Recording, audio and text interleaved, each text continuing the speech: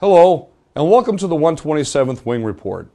Training is the top focus of our report this month as we take a look at recent exercises conducted by the 191st Maintenance Squadron, the 127th Logistics Readiness Squadron, and the 107th Special Operations Weather Flight.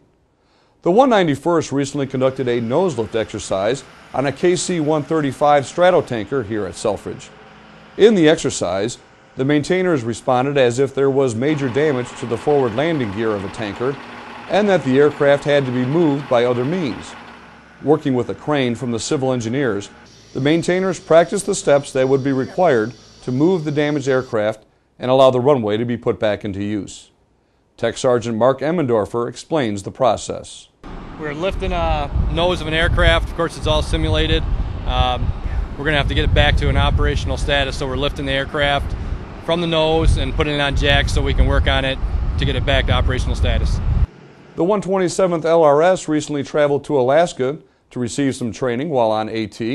Staff Sergeant Rachel Barton files this report. More than 40 Air National Guard members of the 127th Logistics Readiness Squadron from Selfridge Air National Guard Base, Michigan deployed to Alaska in late July and early August for their annual training. This deployment was a unique opportunity for Selfridge Airmen to get hands-on training and a chance to experience new and different work environments.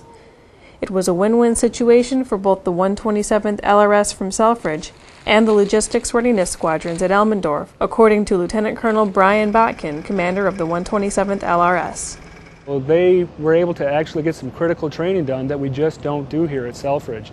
A great example is our fuels personnel went up and they have a hydrant system up at Elmendorf. So all of our fuels personnel were able to get signed off on the, the hydrant refueling vehicles that we just, you know, they can't do that at home station.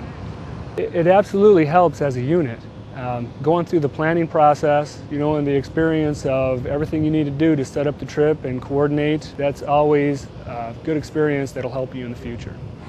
Vehicle maintainers with the 127th LRS were able to sharpen their skills at vehicle body restoration. Staff Sergeant Joseph Boston, a vehicle maintainer from Selfridge, tells us a little bit about their experience working with the Elmendorf LRS.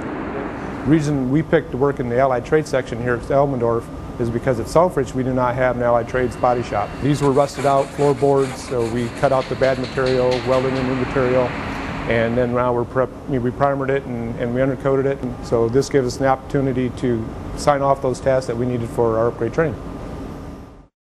The 127th LRS supports a wide variety of missions such as supply, vehicle operations, and fuels. For the 127th Wing, I'm Staff Sergeant Rachel Barton. The 107th Weather Flight was recently able to sync up with a visiting C-130 and conducted paradrop training in August. The Weather Flight is a group of special operators that are based here at Selfridge, and they have to conduct a wide variety of training in weapons and paradrop skills.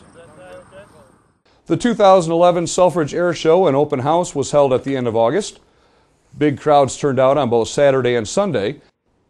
In addition to numerous other aircraft, showgoers were able to visit B 1 and B 52, as well as a number of aircraft that are stationed here at Selfridge and showgoers were wowed by performances by the U.S. Air Force drill team, who performed on both Saturday and Sunday. During the show, a civilian acrobatic performer, Todd Green, died while attempting to perform a maneuver. The entire wing sends out its condolences to Mr. Green's family and to his friends. That is a look at what is happening around the wing this month. Remember, you can check out all the news on what's happening here at Selfridge at our website.